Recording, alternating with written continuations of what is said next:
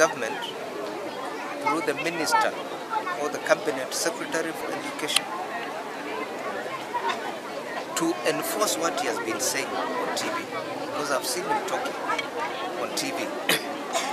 and saying that no child, no child, from whichever background, whether the child was in private school or whether he was in public school, will be chased away from school because of lack of school fees.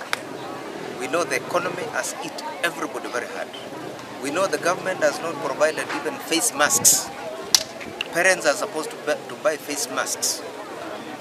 Uh, and um, we are aware that uh, the government is supposed to enforce COVID-19 Ministry of Health guidelines. Where I come from, those guidelines are actually like a mirage. It's a mirage. Because where, where are you enforcing uh, social distancing? You know, where do you enforce them? Classes, even before are overcrowded, unless you are going to organize the teaching in shifts. If it is going to be in shifts, so that shift one goes in the morning and the shift two goes in the afternoon, you cannot enforce social distancing. So if the kids are going to enter the classroom the way they used to, Mr. Magoha, there will be no social distancing. That is a dream. So we are asking you to think out of the box. Maybe kids can read under trees. If they read under trees, like where I come from, there are no rains. So it is possible to for kids to read under under trees because you only need to improvise a blackboard uh, and the teaching will continue. There you can observe social distancing. Okay. Uh, so I'm asking the government to have mercy on the kids and on the parents. We don't want our children to die because of corona. Because if one is infected, that child, child will infect all the others, so the whole class will go. We don't want to end up there. So we want the ministry to be very clear give clear instructions on teachers on how they are going to enforce COVID-19 Ministry of Health guidelines. Head teacher Mwindi Primary. Uh, today is our opening day for grade 4 and 8 are opening for their third term, while the rest are opening for uh, second term this, this time.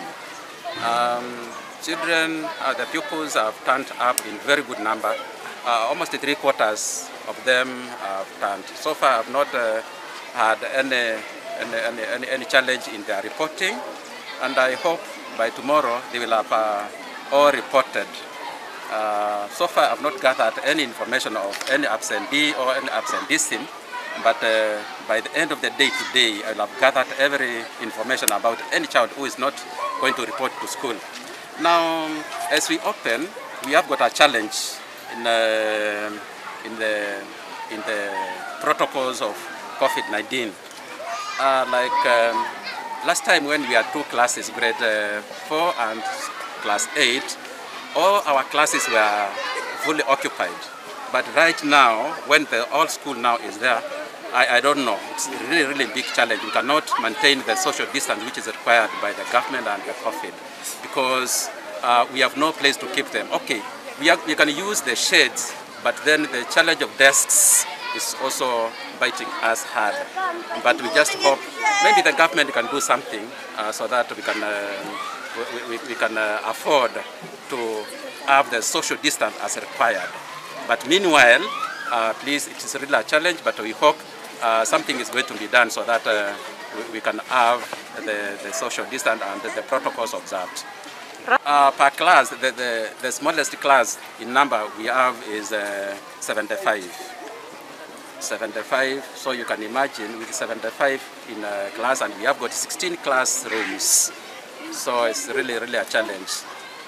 Yeah, we have a very big challenge whereby so many uh, parents have uh, brought their learners uh, from uh, private schools to ask for vacancies in uh, this school. Now, uh, to us, well, as much as we, we, try, but then we have no place to squeeze them. I, I don't know what to do. Maybe to keep them off And maybe we can uh, maybe consider the lower ones, though the government says that uh, we should accommodate them, but to us it's a challenge.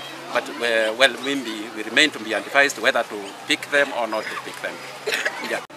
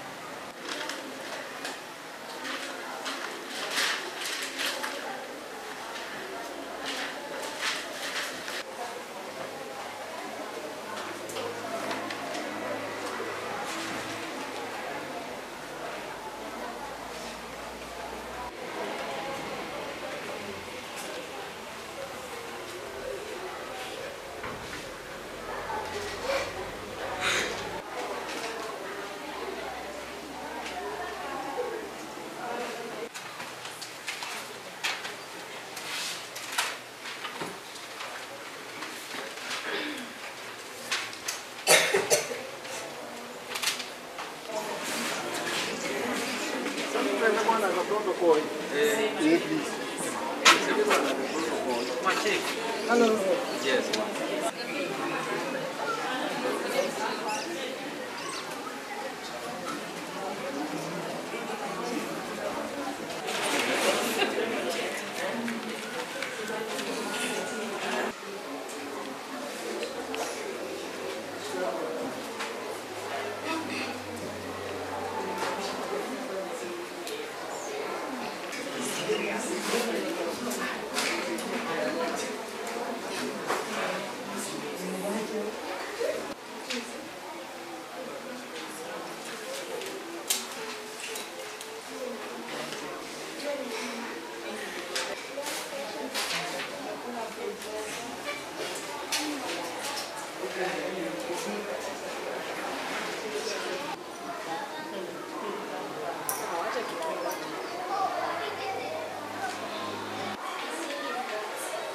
saving box, very good.